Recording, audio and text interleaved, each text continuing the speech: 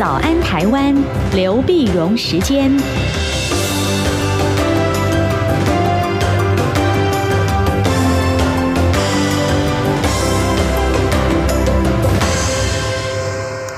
这里是中央广播电台台湾之音，您所收听的节目是《早安台湾》，我是夏志平。现时间早晨的七点零二分四十七秒，我们要跟您连线东吴大学。政治系的刘碧荣教授，请刘老师跟大家聊一聊重要的国际新闻外电啊。老师，您早。早，各位听众朋友，大家早。是老师，这个这个礼拜我们看到这个新闻，其实呃，我看到觉得，哎，这个难道是来收割吗？我们通通常讲收割就是这个获取利益啊，这个前人的努力啊，呃，但是呢，现在换一个人来收割，这是怎么回事啊？这个俄国的总统普廷啊，他在十一号旋风。公式的访问了三个中东国家，哎，这个听说啊，听说啊，我看这个呃呃新闻上面说，一天三个国家，他的旅行的这个行程超过了四千四百公里，他来这一趟是干什么呢？哇，这个这很有意思。嗯，那么呃，我我想先从大的角度来看好了哈，因为普京呢，他是在上呃，就是在长前一个礼拜呢，就是就就在礼拜三的时候呢，宣布啊，他要竞选连任。嗯，他进连任，那进连任呢？当然，他如果再竞连任呢，那就当然就做到二零二四年。二零二四年呢，他就是总共就是当总统的。你看，他呃，俄国是这样的，一任六年，六年两任两任完了以后呢，呃，不能连任，连任完，所以他两任完了以后啊，就休息了一任，休息一任呢，让他的小老弟梅德韦杰夫担任担任总统，他帮他打下手，他担任总理。那总理，然后这任完了以后呢，然后然后他就说，那我再出来再选，再选呢，又又他就变成他当总统，梅德韦杰夫当总理，于是一任完，其实他又是再一任，就是总共第四次，是。第四次加起来呢，十六二十四年啊，四年呢，萨克宣布以后呢，他表示说我。为什么你们为什么要出来呢？因为我有雄心嘛，我在外交上我还是有很大的一个企图心，那我也让俄国可以再次伟大啊！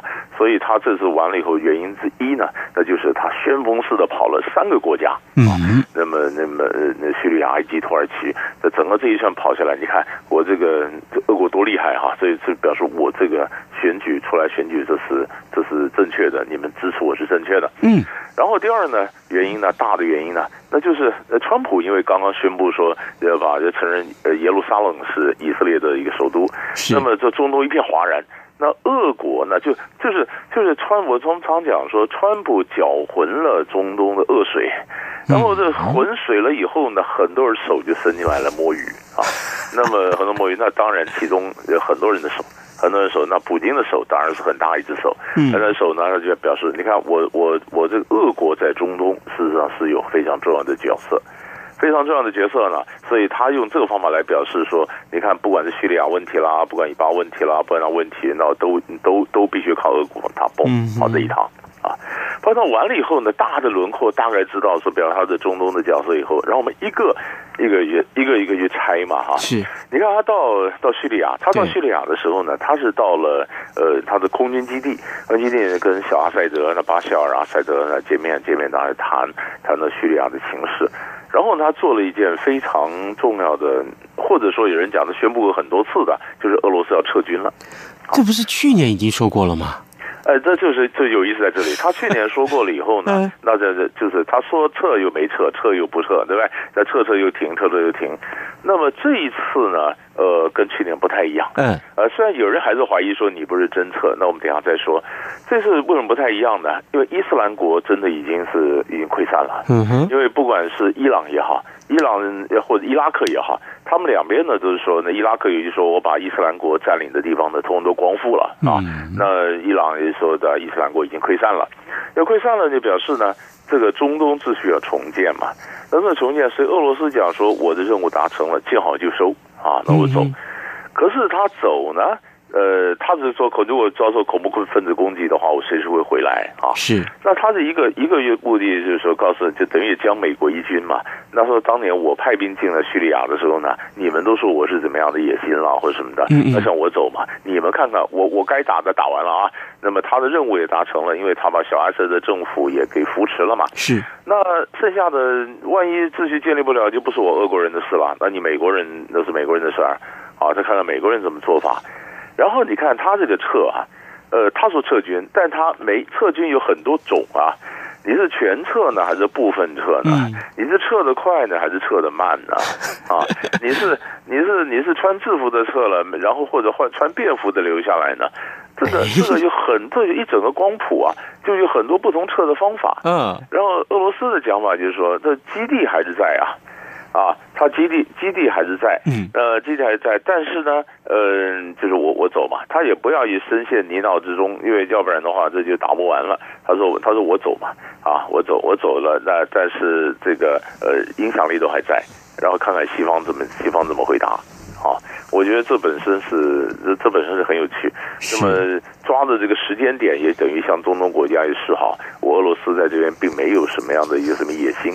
可是呢，它的影响力都还在嘛。嗯，那小艾塞小塞德前一阵子前几天还特别跑到俄罗斯跟这个嗯，到到索契，到跟这个上个月底到到索契，还跟这个俄罗斯去，等于是那道谢，那谢谢你，就是没有没有普京进来的话，我这个政权将无以维持，就马上就就就就已经垮了。是啊，所以他你看，俄罗斯虽然走的影响力还在，基地还在。然后呢，留了个好名，然后问题呢，留给你西方自己去解决。然后我又讲了一句话：万一任何问题，我随时可以回来。啊，这是这是他在在这个呃叙利亚，然后到埃及呢也很有意思。他的埃及呢，当然也谈到这个这个中东的情势什么的。那他们也签一个协定，就是就是俄罗斯要帮埃及盖这个核电厂。嗯，核电厂，核电厂呢，那是埃及第一个核电厂。第一个核电厂，这个三十个 billion 很大的一个核电厂。嗯，俄罗斯输出核电，核电呢，当然也在谈到这个呃，在谈到呃，那么埃他们就开始正谈是埃及要让俄罗斯用它的呃这个军事基地。啊，那埃及，埃及是美国的这个盟友啊。嗯，埃及是美国盟友，然后埃及呢，呃，这个塞西将军呢上当总统，当总统本来说也许军事强人，不是特别注意到人权。那么，但是川普上来倒是倒是很跟塞西这是很默契。很多人说，哎呀，你怎么都不谈人权的问题了啊？很少听到川普谈人权，跟塞西好像不错。那可是呢，这耶路撒冷问题出来以后呢？那当然也让这个埃及变得比较尴尬了，所以俄罗斯就趁机跟了埃及来谈，谈呢就谈说这到底这个这个这个这个基地呢是不是让他来使用啊？那么然后再后来又飞到安卡拉，安卡拉当然见到鄂尔多安嘛，是鄂尔多安呢当然也是谈到整个中东啊整个情势。我们晓得在重建叙利亚秩序呢，这个美国、土耳其、伊朗，呃不是俄罗俄国、土耳其、伊朗，他们经常碰面，就是没有美国。没有美国就美国没有参进来，就是俄就是尤其是俄国和土耳其，俄土耳其这是他见鄂尔多安的，已经今年他们第八次见面了。然后最近两个月，最近几个月几乎每两个礼拜见一次。那你晓得这中间吊诡的地方在哪里呢？这个土耳其是北约的盟国啊，是啊，北约盟国。然后然后呢，土耳其跟俄国去买武器啊，买 S 四百防空飞弹系统。那么那是谁怕谁？那俄国本来不卖，因为我若卖给卖给土耳其，土耳其万一这这这个消息，北约盟国嘛，那说万一万一到美嗯被美国人拿到了这个防空飞弹系统的情报，所以俄国本来就不卖，不卖呢。最近普京有点改变主意了，那是因为已经已经慢慢慢把土耳其拉到他这边来了啊。而且在叙利亚的问题上呢，嗯，吊诡的地方是，嗯，普这普京呢是支持小阿塞德的。土耳其呢是支持反抗军的，嗯啊，那现在呢两人支持两边的，呃，为什么这么默契走在一起呢？那其实就是他们俩走在一起。土耳其呢是想俄国帮忙防止库德族独立，因为在 IS 溃散以后呢，那很多各个，比如说库德族最近过去被 IS 打得很惨，嗯，或者说那既然疆界重划，那我们库德族是不是有机会能够独立呢？那库库德族要独立建国的话，土耳其东南部一大片都是库德族的地区。所以土土耳其就想说，其实本来是帮助反抗军打小阿塞德，那打小阿塞德其实后来发现不重要，重要是战后不能让库德族趁机去独立，所以他就必须跟俄国去改善关系，所以他们两个变得很麻吉，很麻吉，谈的说，哎，这这将来这个秩序怎么做？当然了，你说旋风式的访问不可能谈得多细了，是。可是他们现在是每个礼几乎每两个礼拜就见一次面啊，那所以我说这里面也有秀的部分在这里，就是旋风是跑一趟，比方说我普京我体力不错，然后在俄俄罗斯重返国际舞台啊，然后你看我一边放撤军，一边一边修核电厂，都是以前都谈完了嘛，谈到最后了，然后最后再跟呃安卡拉这边点一下，然后再回去。也是很厉害，一天跑三个国家，很少 过去没没见过有这么这么这么旋风式的这个元首的高峰的一个会议。老师，我们这样来看啊，这个事情的背后啊，呃，因为上个礼拜我们讨论过，这个川普他承认了，就是把这个呃驻以色列大使馆迁到耶路撒冷去，这等于根据刚刚您所说的，他真的搅乱了中东的一池浑水了。好，那现在我可不可以这样说？呃，嗯。川普他在美国在这个中东的势力慢慢慢慢的消退，可是现在真的就是俄国就进来这样子接收了，就渐渐俄国就在中东的影响力就做大了，是这样子。呃，应该是这样讲，各国都有一些企图心。嗯，那中国大陆也有啊。哎，对，都要有呀。所以，所以王毅就讲了，呃，他说，哎，我们可以来调停以巴以巴的这个和解啊。好，王毅也来。莫迪也来啊，啊，印度总理莫迪，呃，完了以后呢，然后莫迪说，哎，我是访问巴勒斯坦，我也想跟，因为莫迪为什么表示说他是阿拉阿拉伯人呢？他也希望有影响力呢？因为其实印度教和他隔壁巴基斯坦就是个就是回教嘛，嗯，回教之间有一些冲突，所以莫迪也在经营他中东，不管是油啦，不管是跟回教徒的关系啦，所以莫迪也在经营。所以莫迪也来，呃，俄罗斯也来，呃，那么中国大陆也来啊。那么当然，你就是说，你美国已经搅混了嘛，那总要有人收拾一下，有人缓和一下嘛，也来。那土耳其呢，他当然也有企图心。他说，哎，所有的穆斯林国家，那么通通在到集中集中在我我我们这边啊，到到到土耳其，然后这个研究怎么对怎么接受这个后川普的宣策整个宣布之后一个什么情况？嗯。然后呢，伊朗也趁机也也也来。伊朗也来，伊朗不是跟沙地是是是对抗的嘛？跟沙地啊，但是他说：“哎，我们两个可以和解啊，我们和解来对抗这个嗯这个美国或以色列。但是呢，你沙地必须先讲清楚啊，你跟以色列中间到底什么关系啊？啊，他也趁机想要查，因为为什么会讲这个呢？因为沙地的王储啊，穆罕默德那非常年轻，嗯，三十二岁。”三十岁，那么呃，川普这边呢，那么做中东政策的做的中政策呢，是川普的女婿库什纳。库什纳呢也是犹太人，所以你看是两个年轻人，一个库什纳的这个第一驸第一驸马，然后那个是第一王储，然后两个人见面呢，就是呃，犹太人跟阿拉伯人的研究说，那我们怎么样的什么推动中东和平啊？那么沙地呢，事实上他为什么跟以色列有点有点这个呃私底下的一些眉来眼去或者一些。交往的，因为以色列可以帮他打真主党，黎巴嫩南部的呃真主党呢是什叶派，是伊朗的势力。伊朗势力那那真主党呢不承认以色列的独立，呃，那是以色列跟真主党中间一直有一直有对抗。啊，真主党是伊朗的嘛，呃，实际上是什叶派嘛。沙乌地呢是逊尼派，沙乌地也不喜欢真主党，所以沙乌地就跟以色列呢，这当然就有一些一些一些眉来眼去。那是伊朗看在这边就很生气啊。那我你你怎么跟以色列眉来眼去呢？这伊朗就是鲁鲁哈尼就跟这个沙乌地喊话，说现在耶路撒冷情况有变了，我们可以和解啊。但是呢，你先断绝跟以色列的来往。嗯啊，那当然不见得会成了，只是说局势一混乱了以后呢，大家都想趁机各自各各取所需嘛。啊，那你说俄罗斯会不会就赢呢？呃，其实还有一个很重要的关键，俄罗斯的外交上整个这样子耍起来的话呢，它需要银弹呐，它需要银弹。你的银弹是什么呢？它要把油价跟天然气的价格要炒上来，嗯哼，它这样才有子弹，才可以耍这四行的外交，所以他才会同意沙特跟他讲说，我们的石油减产呐，把油价打上来，这也是原因之一啊。好，这背后的这个因素真是复杂哦。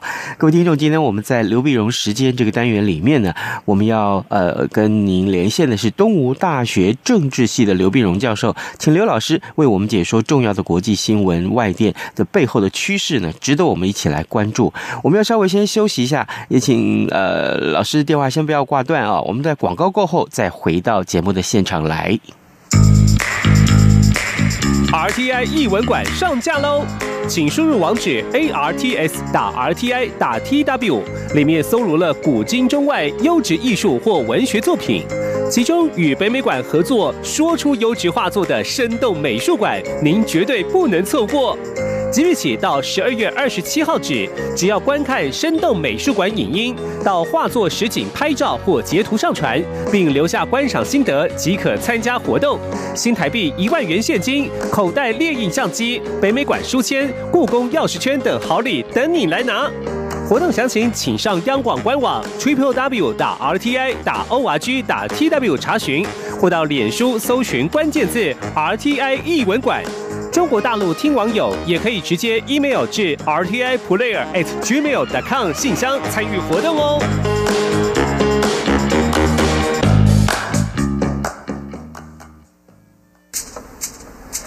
早安，台湾，你正吃着什么样的早餐？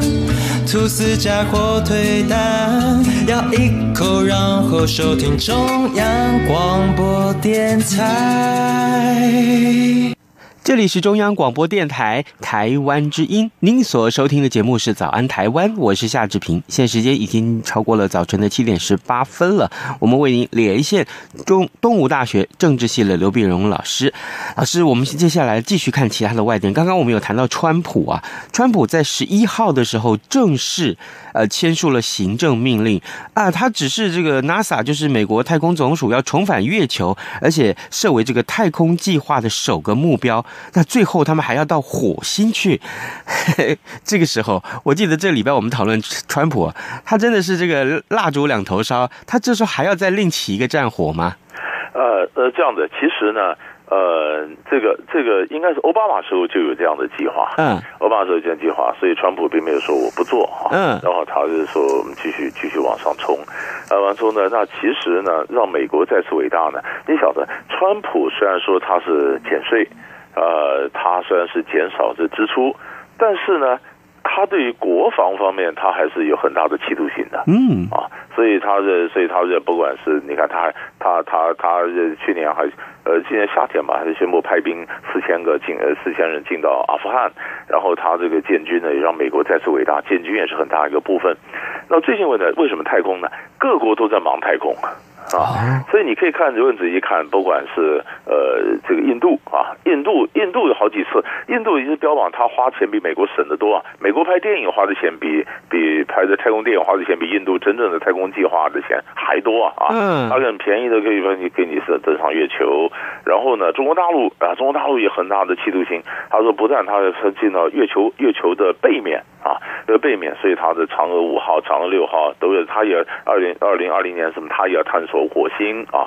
那那么中国大陆也在做啊，那日那么日本也日本也想跟上，也要说他那么也希望争取把日本的这个日籍太空人呢能够送上去啊。那大家都想说，不管用各国的这卫星的导航这个系统，那么卫星上面可以收集很多的这种不管是气象啦、军事啦、各种各种科学或者各种各种各种的情报。嗯那情报呢，所以美国呢，美国已经美国这一阵子在这上面已经沉积了好一阵子了，沉积好一阵子，所以后来传播，所以为什么很多太空人呐、什么就就就是说 NASA 也有建议，建议后来川普说好，那么就是我们是在发展，发展呢不能在月球上建基地啊，下一周再发展火星，可是他并没有给一个时间表啊，也没有一个具体的目标，为什么？他就给一个大的方向。是啊，那大的方向是怎么走？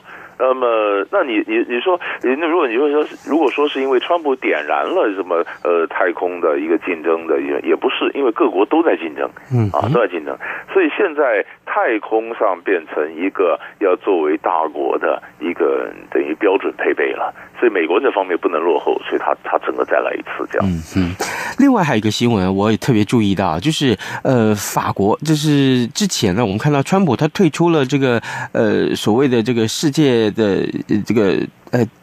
重要的这个呃巴黎协定，那这是一个环保相关的一个一个协定啊。那现在这个法国总统啊马克宏，他呢十二号又在巴黎呃主持他发起的这个世界气候峰会，一个地球高峰会。那么这么多个国家都一起来了，结果就是没有川普。那当然，川普他自己退出了嘛。呃，马克宏他想要借由这样一个峰会达成什么样的目的呢？这个那当然，你可以看到马克龙充满了这个呃政治上的企图心啊。嗯你看，当美国开始退的时候呢，那就是法国就是我来填空嘛，嗯啊，当然就就是你不是你世界舞台你往后退，那我来我来引领。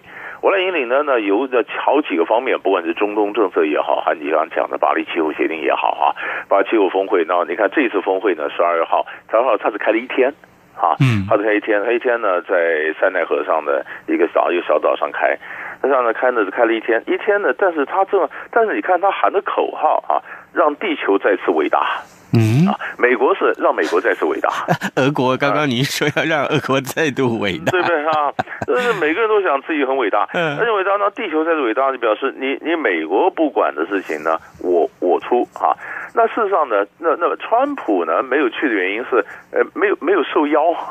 好，美国是大使去了，你感觉上好像说是呃，川普背戈不去，不是因为你川普已经退出巴黎气候协定嘛？嗯，那么马克龙说，那我就不邀请你了啊。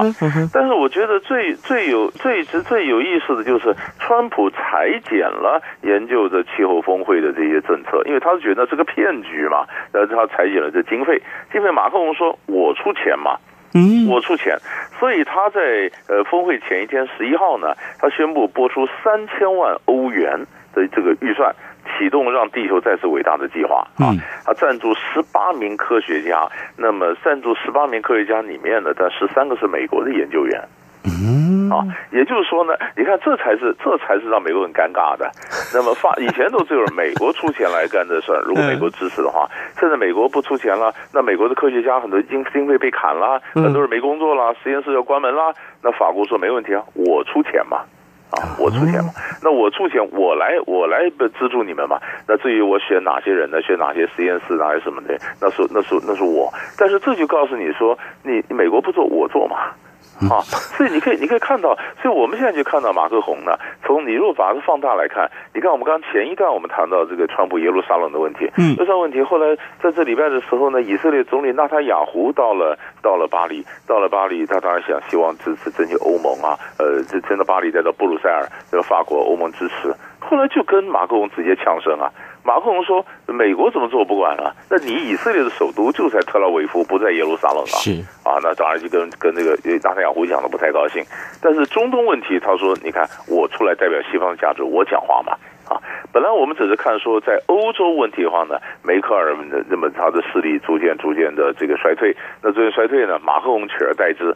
现在由这种迹象，巴黎峰会的气候峰会的情况来看呢，马克龙不只想领导欧洲啊，他想领导西方啊。”那这个位置就是他希望能不能够真正填进去是一件事，但是他是想去填呐，这个这个，所以这个年轻的总统那其实是不可小看的。可是马克龙自己在法国的这个民调，就是他施政的这个民调，其实是下错的耶。哎，但是但是他有一些政策好像是下错的，但是因为但是目前呢，也几乎没有人能够取代他，嗯，没有人取代他，所以你可以看到这很这很有趣。但是没有人取他，没有取他，他自己也在也在想说，那既然这样子，本来如果就欧洲来讲的话，你看德国跟法国是欧洲整合的双引擎，嗯，那德国现在那个政府都还组不出来，所以梅克尔选择也是也就自己显得很气馁。那这双引擎有个引擎都快熄火了嘛，那当然就是那那那就是法国说，那我来引领。完了，你碰到川普就这样子，你动不动就就开始在带领美国走向好像重新孤立，那很多所谓被西方的最后推崇的西方的价值，没有人在。那个捍卫了，那马克龙说：“那我嘛，那我在才，所以不管中东了，不管气候了，不管很多事情，所以你看他很多时候，他很多重要的场合呢，你下来接着看，他就会他他会找时间发言，那发言大家都会注意马克龙说什么。如果是变成一个趋势的话呢，法国也拿钱，法国也出兵，然后欧洲的经济呢，结构结构结构结构性的经济正正开始起来以后，那么法国是不是能够扮演一个什么样的角色？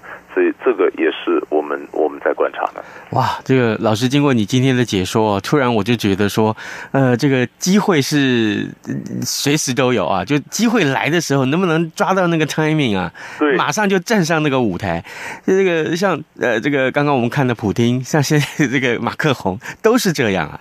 对，就严格来讲，你如果说我 从放大来讲，他们的几个有企图心的这领袖的外交动作都很大，是都很大，然后他们有这能力，也有这个体力啊。但是就是说，你一旦完了以后呢，你国家的国力。能不能支撑这个长久的一个人，这是这才是一个，这也是一个关键。是的，各位听众，今天我们在呃刘碧荣时间里面跟您连线东吴大学政治系的刘碧荣教授，请刘老师跟大家聊重要的国际新闻外电。而刚刚的这几个重要的新闻，我们听来都非常非常有感触啊！我们也谢谢老师跟我们的分享，谢谢老师，谢谢。